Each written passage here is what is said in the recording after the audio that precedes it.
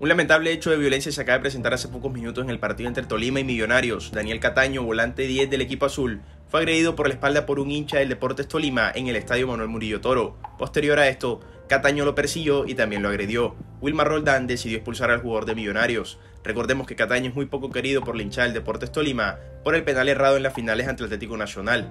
¿Qué opinan ustedes de esta terrible situación que se presentó en el estadio del Deportes Tolima? Dejen su opinión en los comentarios.